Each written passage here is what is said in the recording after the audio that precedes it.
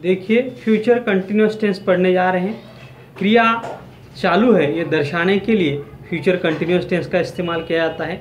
हिंदी वाक्य के आखिरी में एंड में, रहे होंगे, खेल रहे होंगे, जा रहे होंगे, आ रहे होंगे, ये शब्द आते हैं तो फ्यूचर कंटिन्यूस टेंस का इस्तेमाल किया जाता है। इसकी वाक्य रचना ऐसी सब्जेक्ट के बाद विल बी आते हैं और उसके बाद वर्ब का आईएनजी फॉर्म इस्तेमाल किया जाता है और उसके बाद उस सेंटेंस में दूसरे शब्द लिए जाते हैं। देखिए यहाँ पर चार सेंटेंस हैं इस पन्ने पर। आपके पिताजी आपकी राह देख रहे होंगे कल इस समय हम फ़िल्म देख देख रहे होंगे और इसके नीचे और चार सेंटेंसेस हैं, उन्हें भी हम अंग्रेज़ी में बनाते हैं। देखिए, पहला सेंटेंस क्या है? आपके पिताजी आपकी राह देख रहे होंगे। देखिए, आपके पिताजी, इस सेंटेंस में सब्जेक्ट है। योर फादर इस सेंटेंस के एंड में इस होंगे के लिए विल रहे के बी देखिए योर फादर विल बी रहा देखने का आएँगे form waiting your father will be waiting for you देखिए your father will be waiting for you your father will be waiting for you your father will be waiting for you your father will be waiting for you your father will be waiting for you your father will be waiting for you देखिए, अगला sentence है, कल इस समय हम film देख रहे होंगे। कल इस समय हम फ़िल्म देख रहे होंगे। इस सेंटेंस में सब्जेक्ट है हम।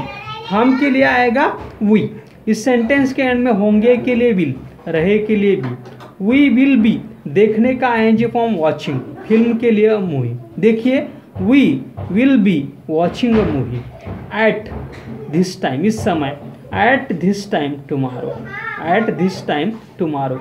We will be watching a movie at this time tomorrow. We will be watching a movie at this time tomorrow.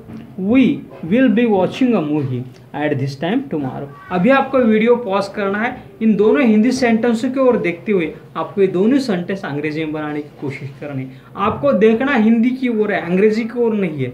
और हिंदी की ओर देखते हुए आपको अंग्रेज़ी में बनाने की कोशिश करना है। और आपकी जो कोशिश है, आपको आपके मोबाइल में रिकॉर्ड करना है। आपकी रिकॉर्डिंग आपको सुननी है, उसमें क्या फॉल्ट है, क्या दोष है, वो दूर करते हुए फिर से कोशिश करने फिर से रिकॉर्डिंग करनी फिर से कोशिश करनी फिर से रिकॉर्डिंग करनी है, जब तक आप सेटिस्फाई नहीं होते।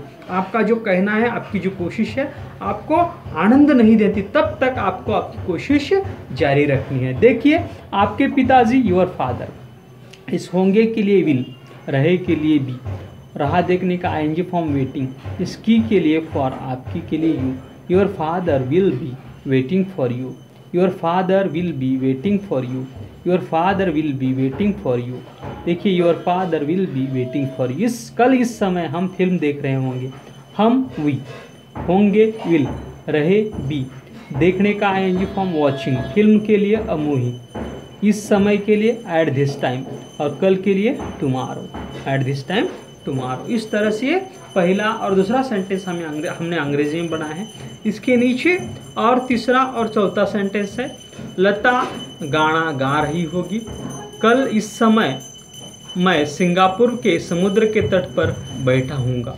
ये दो सेंटेंसेस है इसे हम अंग्रेज़ी में बनाते हैं। देखिए लता गाना गा रही होगी। लता गाना गा रही होगी। देखिए Lata will be singing a song देखिए, Lata will be singing a song Lata will be singing a song Lata will be singing a song Lata will be singing a song Lata will be singing a song कल इस समय मैं Singapore के समुद्र के तट पर बैठा हुआ हूँगा, बैठा होऊँगा बैठ रहा हूँगा, बैठ रहा हूँगा। देखिए मैं के लिए आएगा I will be sitting I N G form देखिए. I will be sitting on the beach on the beach समुद्र तट के लिए on the beach in Singapore at this time tomorrow देखिए I will be sitting on the beach in Singapore at this time tomorrow देखिए I will be sitting on the beach in Singapore at this time tomorrow. I will be sitting on the beach in Singapore at this time tomorrow देखिए, अब ये video आपको pause करना है। इन दोनों sentence की ओर देखते हुए दोनों सेंटेंस आपको अंग्रेज़ी में बनाने की कोशिश करनी है। आपकी कोशिश आपको रिकॉर्ड करना है और रिकॉर्डिंग चेक भी करना है। देखिए, लता के लिए लता, इस होगी के लिए विल रही के लिए बी गाने का है जी फॉर्म सिंगिंग गाना के लिए a song Lata will be singing a song कल इस समय मैं सिंगापुर के समुद्र के तट पर बैठा रहा हूँगा मई के लिए आएगा आए इस होंगा के लिए विल बी रहा के लिए भी बैठने के लिए सिटिंग पर के लिए ऑन समुद्र के तट के लिए द बीच के के लिए इन सिंगापुर के लिए सिंगापुर मे के लिए एट इस समय के लिए दिस टाइम कल कल के लिए tomorrow at this time tomorrow इस तरह से हमने ये फ्यूचर कंटिन्यूस टेंस का पहला पन्ना अंग्रेज़ी में बनाया। कल हम दूसरा पन्ना बनाएँगे। फिर फ्यूचर परफेक्ट टेंस फिर can could should would may might must आज्ञार्थी, वाक्य, प्रश्नार्थी, वाक्य, फिर लेटर राइटिंग इससे writing report writing passive voice का कैसे इस्तेमाल कराना चाहिए? इस तरह से हमारा जो पूरा किताब है speech challenge to speak English ये किताब का हर एक पन्ना हम वीडियो के फॉर्म में ट्रांसफ़र कर रहे हैं। इसलिए हमारा, आप अंग्रेज़ी बोलने में परिपूर्ण बनना चाहते हैं तो हमारा चैनल सब्सक्राइब कीजिए, हमारे वीडियोस देखते रहिए। आपके जो भी दोस्त अंग्रेज़ी बोलना चाहते हैं, उन्हें भी कहिए कि वो भी हमारा चैनल सब्सक्राइब करें, वो भी हमारा चैनल देखते रहे। हमारा वीडियो देखने के लिए धन्यवाद। Thank you.